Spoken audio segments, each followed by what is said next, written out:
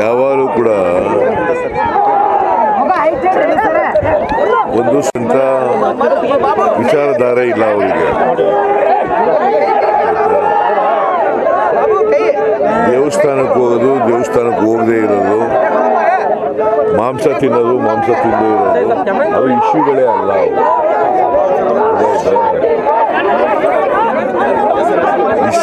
ಇಶ್ಯೂಗಳಿರೋದು ನಾಮ ಹಾಕೊಳ್ಳೋದು ದೇವಸ್ಥಾನಕ್ಕೆ ಹೋಗೋದು ಟಿಪ್ಪು ಸುಲ್ತಾನ್ ಬಗ್ಗೆ ಮಾತಾಡೋದು, ಅಬ್ಬಕರ್ ಬಗ್ಗೆ ಮಾತಾಡೋದು, ಗಾಂಧೀಜಿ ಬಗ್ಗೆ ಮಾತಾಡೋದು, ಗೋಡ್ಸೆ ಬಗ್ಗೆ ಮಾತಾಡೋದು ಇದೆಲ್ಲ ದೇ ಆರ್ ನಾಟ್ ಅವೆಲ್ಲ ರೆಲೆವೆಂಟ್ ಇಶ್ಯೂಸ್ ಅಲ್ಲ. ರೆಲೆವೆಂಟ್ ಇಶ್ಯೂಸ್ ಜನರಿಗೆ ಸಂಬಂಧಪಟ್ಟಂಥ ಇಶ್ಯೂಸ್ಗಳು ಈ ನಾಡಿಗೆ ಸಂಬಂಧಪಟ್ಟಂಥ ಇಶ್ಯೂಸ್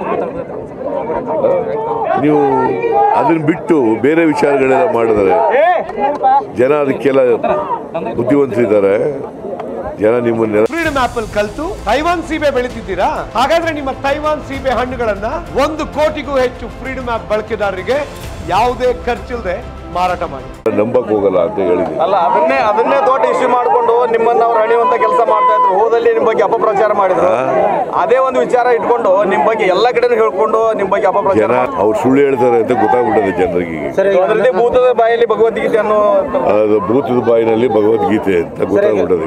ಫಿಲ್ಮ್ ಆಕ್ಟರ್ ಅನಂತ ಕುಮಾರ್ ಅನಂತ್ ನಾಗ್ ಅವರು ಬಿಜೆಪಿ ಸೇರ್ತಾರೆ ಫಿಲ್ಮ್ ಆಕ್ಟರ್ ಅನಂತ್ ನಾಗ್ ಅವರು ಬಿಜೆಪಿ ಸೇರ್ತಾ ಇದ್ದಾರೆ. ಫಿಲ್ಮ್ ಆಕ್ಟರ್ ಅನಂತ್ ನಾಗ್ ಅವರು ಬಿಜೆಪಿ ಸೇರ್ತಾ ಇದ್ದಾರೆ. ಬಿಜೆಪಿ ಮತ್ತೆ ಇದರಿಂದ ಬಿಜೆಪಿಗೆ ಏನು ಹೆಚ್ಚು ಅನುಕೂಲ ಆಗ್ಬೋದು? ಏನು?